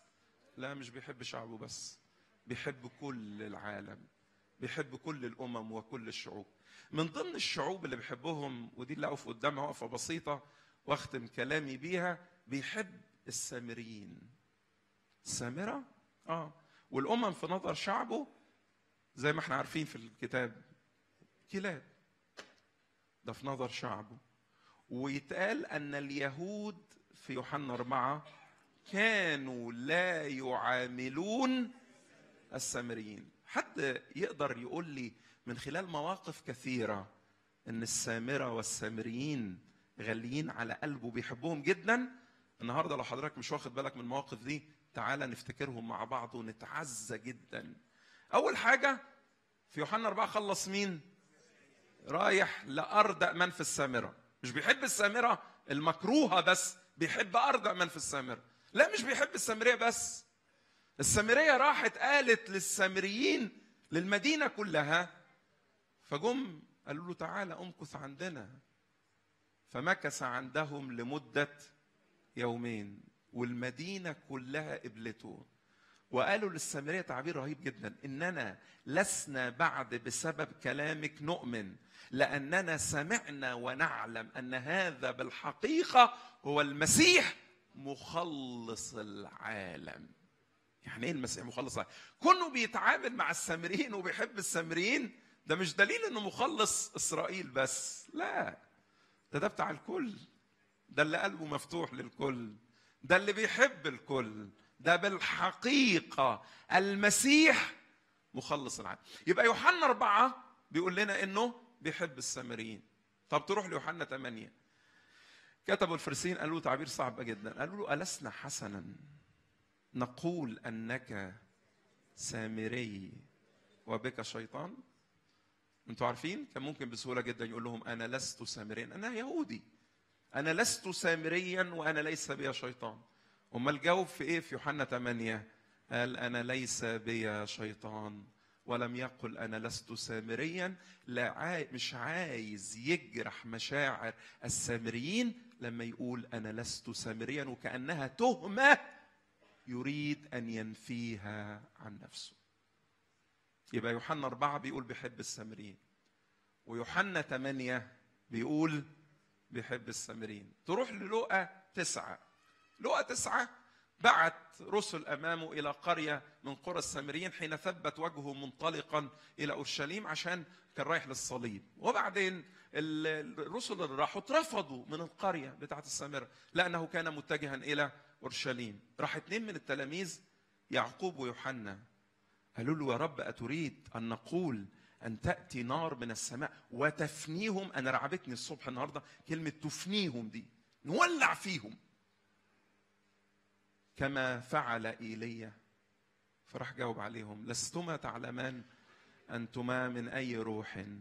لأن ابن الإنسان لم يأتي لكي يهلك بل لكي يخلص. عايزيني أهلك القرية بتاعت السامريين مش هعملها. ده لقى كام دي يا جماعة؟ لقى تسعة. خد بالك راجع معايا. يوحنا أربعة خلص السامرة والسامريين. ها. يوحنا ثمانية آه أنا لست بيا الشيطان ما قالش أنا لست سامريا. ها. لقى تسعة قالوا له هات نار وكل القرية قال لهم افني القرية. قال لهم لا أنا جاي علشان أخلص بحب السامريين. طب لقى عشرة اللي كان نازل من أورشليم إلى أريحة ووقع بين اللصوص. وفي قرار كده عارفين القرار بتاع الترنيمة؟ بس قرار سيء إن اللاوي رآه وجاز مقابله والكاهن رآه وجاز مقابله. لكن أما سامريا مسافرا فجاء إليه رآه يبقى أرجع لها في الكتاب وتحنن عليه. يا الأعجب بقى إن هو شبه نفسه بالسامري الصالح. دي لقى كام دي؟ لقى عشر. لسه في تاني؟ هي لسه في تاني. راجع تاني معايا. ها يبقى يوحنا أربعة وبعدين يوحنا ثمانية ها وبعدين لقى تسعة. ها وبعدين لقى عشرة. وبعدين لقى 17 كان بيقرب من منطقة الجليل والسامرة. وبعدين عشرة برص طلعوا من المدينة وبيطلبوه إن هو يعمل معاهم حاجة. ارحمنا. راح قال لهم إيه؟ قال لهم روحوا روحوا وروا نفسكم للكاهن. فالعشرة هم رايحين إيه اللي حصل؟ طاهروا. رجع واحد بس عشان يسجد له. قام الرب قال إيه؟ قال أليس العشرة قد طهروا أو برأوا؟ فأين التسعة؟ ألم يرجع سوى هذا السامري الغريب الجنس؟ عظم اللي عمله السامري. اليهود ما عملوهاش لكن السامري عملها. ألم يرجع سوى هذا السامري الغريب الجنس؟ لكي يعطي مجدا لله. مدح السامري في لوقا 17 اللي رجع علشان يعظم ربنا لأنه خلصه. طيب يبقى يوحنا أربعة. بعدين يوحنا ثمانية وبعدين لوقا تسعة وبعدين لوقا عشرة وبعدين لوقا طب كفاية لا لسه. أعمال واحد أعمال واحد. لكنكم ستنالون قوة. آه. متى حل الروح القدس عليكم وتكونون لي شهودا. فاكرين؟ أورشليم وكل اليهوديه وبعدين والسامرة. إيه ده في الخريطة؟ آه طبعا في الخريطة. وإلى أقصى الأرض. يعني مش واقعه السامرة من من حساباتك؟ لا. أنا بحب بغض النظر عن الجنسية والسامرة أنا مشغول بيها. طب خلاص لغاية كده. لا يجي في أعمال ثمانيه الذين تشتتوا بسبب الضيق. جالوا مبشرين بالكلمة. مين من ضمن اللي تشتتوا بالضيق؟ فيلبس. راح فين فيلبس؟ راح السامرة. كانوا يصغوا إليه باهتمام نتيجة المعجزات التي كان يفعلها. لأنه اللي كان فيهم كثيرون من اللي كان فيهم أرواح نجسة في السامرة كانت تصرخ وتخرج من الناس. وغير كده إن كثيرون من أو كثيرين من المفلوجين والعرج شفوا وبعدين يقول تعبير رهيب جدا. كان فرح عظيم في المدينة. أي مدينة اللي فيها فرح عظيم؟ نهضة عارمة. شملت وغطت السامرة. يجي بطرس بعد شوية في أعمال 8 علشان يدي لبتوع السامرة عطية الروح القدس. إيه الموضوع؟ الموضوع الموضوع بيحب السامريين بيحب السامريين. راجع تاني معايا؟ يبقى يوحنا أربعة خلص السامرية. وخلص المدينة كلها. إننا لسنا بعد بسبب كلامك نؤمن لأننا سمعنا ونعلم أن هذا بالحقيقة هو المسيح مخلص العالم. يوحنا 8 ألسنا حسنا نقول أنك سامري وبك شيطان؟ قال لهم أنا ليس بي شيطان. لوقا تسعة طلب التلميذين يجيبوا نار وتاكل المدينة. قال لهم أنا جاي علشان أخلص وليس لأهلك. لوقا عشرة هو نفسه شبه نفسه بمين يا جماعة؟ بالسامري. لوقا 17 امتدح السامري الوحيد مفيش غيره اللي راجع لكي يعطي مجدا للرب. في أعمال واحد رسم خطة انتشار الإنجيل والكرازة في كل العالم وحط السامرة من ضمنها. في أعمال ثمانية أقام نهضة عارمة وعظيمة في السامرة. وخلص الناس وكان في فرح عظيم في هذه المدينة وقبلوا عطية الروح القدس. إيه الموضوع يحب بغض النظر عن الجنسية؟ راجع معايا تاني. بيحب بغض النظر عن الحالة بيحب بغض النظر عن السيرة بيحب بغض النظر عن الجنس يحب بغض النظر عن الجنسية. واحد لخص في ثانيتين كده وصلي معاكم دقايق وأسيب أخويا مينا يكمل معانا. قال الرب يسوع عامل زي الوردة. التي تقدم رائحتها تنشر وتعطي رائحتها دون أن تفكر من الذي سيستفيد من هذه الرائحة. ينفع الوردة تسأل اللي جاي يشم ده كويس ولا وحش؟ لا مش فارقة معاه. طلع الريحة بتاعتها. الرب يسوع كان كالشجرة التي تقدم ثمرها بغض النظر من الذي سوف يتناول هذا الثمر. طالح صالح ما يفرقش معاه. الرب يسوع كان كالشمس. إيه رأيكم لو الشمس رجعت نفسها كل يوم تشرق على الأرض ولا ما تشرقش؟ نتيجة الشر اللي في الأرض أعتقد هتعتذر الشمس صح؟ لكن يشرق شمسه على الأشرار والصالحين على الكل. هو عامل زي الشمس التي تشرق على الكل. رب يسوع عامل زي الينبوع. الينبوع اللي طالع من الأرض ده الميه الحلوة اللي طالعة من الأرض دي هل الميه دي بتسأل أنا طالع لحد عدل ولا حد وحش؟ لا قلبه مفتوح للجميع وللكل. طب آخر حاجة المطر اللي جاي من السماء ده عشان يروي بيسأل أنهي أرض هتستقبله أي مكان هيجي عليه وأي منطقة هي اللي تستفاد ولا أي حاجة. إنه يأتي المطر يأتي دون أن يبحث من الذي يستفيد وهكذا الرب. هكذا الرب. إن لا ده أنا عايز أقول لكم بقى بالازود إني لم آتي لأدعو أبرارا للتوبة بل خطاة. لا يحتاج الأصحاء إلى طبيب بل المرضى. النهاردة في رجاء مش بيدور على العدلين مش بيدور على الحلوين مش بيحب اللي يستاهلوا يتحبوا لكنه يبحث عن من لا يستحقون إنه يسوع الذي يحب المنبوذين. يسوع الذي يحب المهمشين. يسوع الذي يحب المرفوضين. ارفع راسك وقول له مهما كانت حالتي لي الحق في هذا الصباح أن أستمتع بحبك غير العادي وغير المحدود. بيحبني مش لأني أنا حبيته هو اللي بدا بالحب. قبل ما جيته مهما كان بقى حالتنا قول له بغض النظر عن أي حاجة أنا هجيلك أنا هجيلك وشكرا لإنك من الجنب التاني عايز تجيلي ده من حنانه ليا. يجي يسأل عليا. خلينا نغمض عينا كده لمدة دقيقة أو دقيقتين. نقول له شكرا يا صاحب القلب العظيم والكبير. شكرا إنك بتدور على أوحش الناس وأرضع الناس. حتى لما اخترت في الازل اختار الله المصدرة وغير الموجود لكي ما يبطل الموجود. يا رب كنا هنروح ونيجي منين؟ لو انت بتدور على العظماء. ده إحنا كنا رحنا في الرجلين. لكن نشكرك لأنك بتدور على الضعفاء المهمشين المرفوضين المنبوذين. وتريد أن تتقابل معهم تتلاقى معهم. وتغير حياتهم. نشكرك لأنك بتحب بغض النظر عن الحالة وبتحب بغض النظر عن السيرة وبتحب بغض النظر عن الجنس وبتحب بغض النظر عن الجنسية. محبتك تنعش الكلام عن حبك ينعش ويعطي رجاء. زي ما كان اخونا أخونا نادي بيتكلم أول الاجتماع يعطي رجاء لمن ليس له رجاء. تعالوا كده نصلي نقول له لو في حد بعيد يا رب من فضلك اقنعه بأنك بتدور عليه.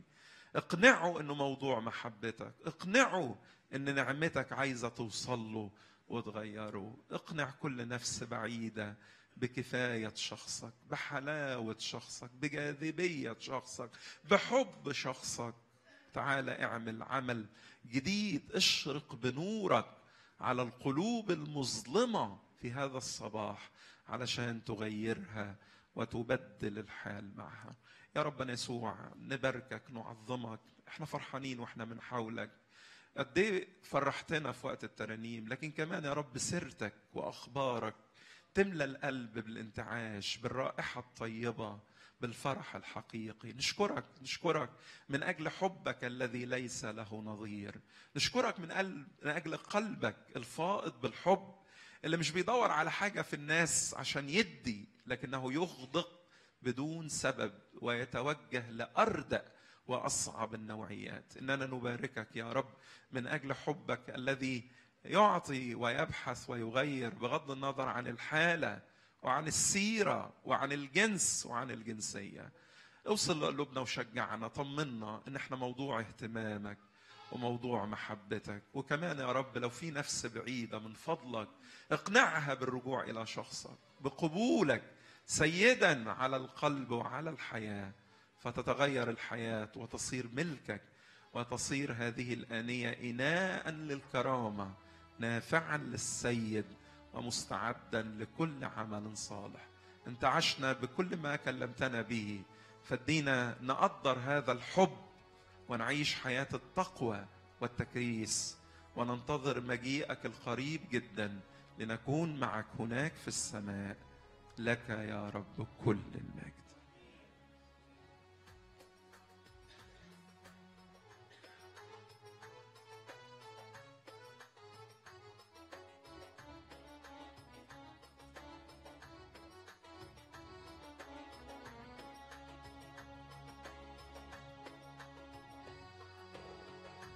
البحر نين حبه يبين إن صليبه ده كان تكفير عن خطايانا.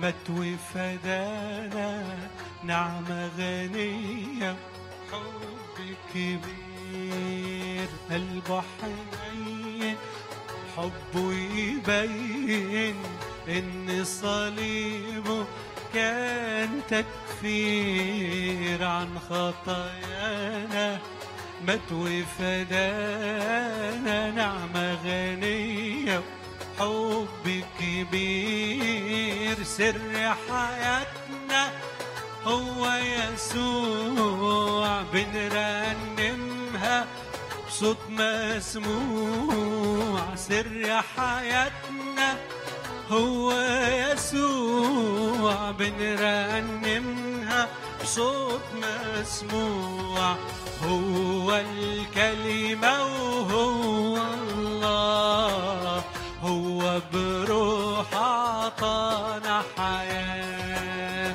هو الكلمة هو الله.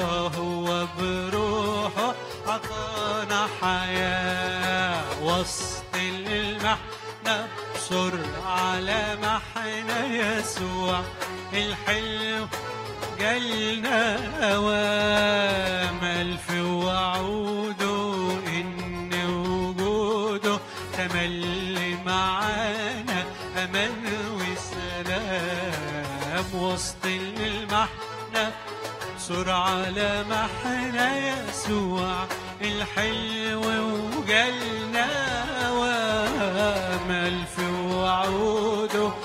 إن وجوده تملي معانا أمان وسلام سر حياتنا هو يسوع. بنرنمها بصوت مسموع. سر حياتنا هو يسوع. بنرنمها بصوت هو الكلمة وهو الله. هو بروح عطانا حياة. هو الكلمة هو الله. هو بروحه عطانا حنادى علينا نادى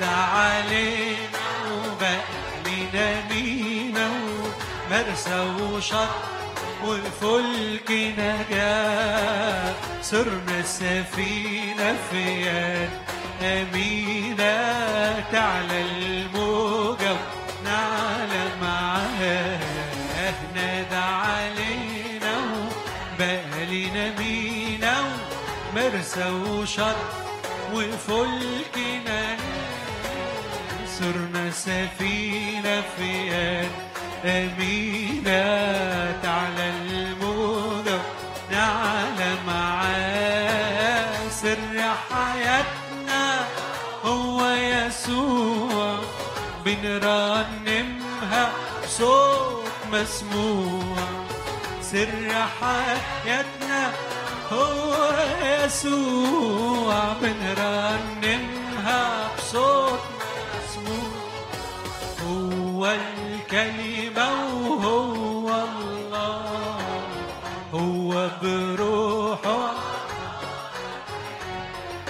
هو الكلمة وهو الله هو بروحه. عطانا حياة عين تحرسنا اتواسينا وهي عدينا لحد سماء. مهما الغربة بلنا صعبة هترسل المركب وهاني العين تحرسنا وإيد وسينا وهي عدينا لحد سما مهما الغربة تبان لنا صعبة هترسل المركب وهاني للآه سر حياتنا هو يسوع بنرنمها صوت مسموع. سر حياتنا هو يسوع بنرنمها صوت يسوع هو الكلمة هو بروحه هو الكلمة وهو الله. هو بروح عطانا حياة. عارفين اللي عمل شمس وقمر وكل الدنيا. واللي نسمع منه الدور كل الكون في ثانية. عارفين اللي عمل شمس وقمر وكل الدنيا. واللي نسمع منه تدوب كل الكون في ثانية. واللي أنفاسه تزلزل أساس الجبل واللي أنفاسه تزلزل. أساس الجبل واللي ما يعرف نهاية وبدايته الأزل. أقدر أقول له يا أبويا أقدر أقول له حبيبي أقدر أقول له يا أبويا أقدر أقول له حبيبي. أقدر أقول له إلهي وأبويا وحبيبي أقدر أقول له إلهي و... يلا قولها معاي عارفين اللي كان مع موسى وشعبه في البر اللي شاء واللي شاء بحر يوسف عداهم في. عارفين اللي كان مع موسى وشعبه واللي شاء بحر يوسف آه يوسف لما كان في سجنه نجاه من الخطر. يوسف لما كان في سجنه نجاه آه والفتية عبروا في النار ومعاهم عبر. أقدر أقول له يا أبو أقدر أقول له حبيبي أقدر أقول له يا أبويا أقدر أقول له حبيبي أقدر أقول له إلهي وأبويا وحبيبي. أقدر أقول له إلهي وأبويا عارفين لما كان مصير يموت ونار أبدية. نزل واتصلب بدالي وصاحك راس الحية. عارفين لما كان مصيري يموت ونار أبدية. نزل واتصلب بدالي صحك راس شال عني. شال عني عار الخطية وناموس العمل. شال عني عار الخطية وناموس العمل. صار ليا في ضمان وشفاعة وأمل. أقدر أقول له يا أبويا أقدر أقول له حبيبي أقدر أقول له يا أبويا أقدر أقول له حبيبي أقدر أقول له إلهي وأبويا وحبيبي. أقدر أقول له إلهي وأبويا وحبيبي. يلا أقف معايا خلينا